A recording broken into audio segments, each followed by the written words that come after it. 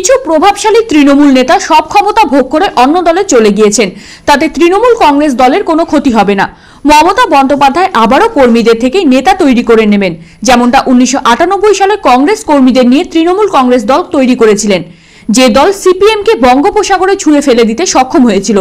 রায়গঞ্জ রবীন্দ্র ভবনে উত্তর দিনাজপুর জেলা তৃণমূল কংগ্রেসের ডাকে এক সাংগঠনিক সভায় যোগ দিতে এসে এমনই বক্তব্য রাখেন রাজ্যের পুরমন্ত্রী ফিরহাদ হাকিম। উত্তর দিনাজপুর জেলার সর্বস্তরের নির্বাচিত প্রতিনিধিদের নিয়ে এই সাংগঠনিক সভার আয়োজন করা হয়েছিল রায়গঞ্জের রবীন্দ্র ভবনে। সেই সাংগঠনিক সভায় পুরমন্ত্রী ফিরাদ হাকিম ছাড়াও উপস্থিত ছিলেন রাজ্যের শ্রম দফতরের রাষ্ট্রমন্ত্রী গোলাম রাব্বানি, বিধায়ক মনোদেব সিনহা, আব্দুল করিম চৌধুরী, তপনদেব সিনহা, দলের জেলা সভাপতি কানাইয়ালাল আগরওয়াল, মালদা জেলা তৃণমূল কংগ্রেস সভাপতি তথা রাজ্যসভার সাংসদ মৌসম বেঞ্জিন্নুর রায়গঞ্জ বিধানসভা তৃণমূল কংগ্রেস কোঅর্ডিনেটর অরিন্দম সরকার সহ অন্যান্য শীর্ষ নেতৃত্ব। সাংগঠনিক সভায় পুরমন্ত্রী ফিরহাদ হাকিম বলেন, তৃণমূল কংগ্রেস দল সাম্প্রদায়িকতার বিরুদ্ধে লড়াই করার জন্য প্রতিশ্রুতিবদ্ধ। তিনি বলেন, কেউ কেউ বেইমানি করে দল ছেড়ে চলে গিয়েছে, তাতে দলের কোনো ক্ষতি হবে না। মমতা বন্দ্যোপাধ্যায় নেতা তৈরি করেছেন, আজ ফিরাদ হাকিম নেতা হয়েছে। একদিন আমিও সাধারণ কর্মী ছিলাম। মমতা বন্দ্যোপাধ্যায় আমাকে এই সুযোগ দিয়েছেন। আমরা যদি সবাই ঐক্যবদ্ধভাবে লড়াই করি, তাহলে উত্তর দিনাজপুর জেলায় নটি আসনেই জয়ী হব।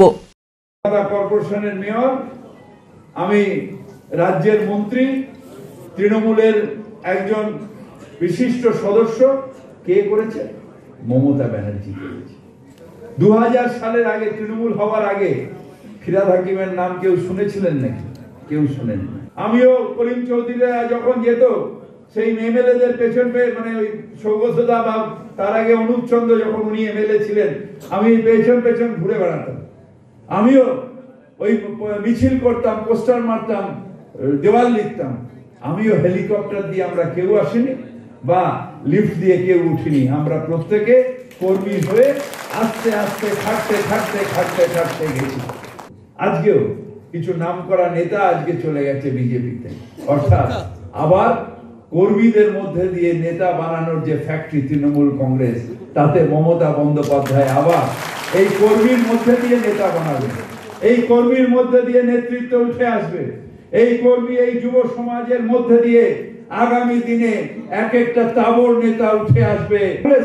ডাইরেক্ট বিজেপিকে দাও। কংগ্রেসের ক্ষমতা নেই বিজেপিকে সিপিএম এর ক্ষমতা নেই বিজেপিকে ওয়াইসি সাহায্য করতে আসছে বিজেপিকে।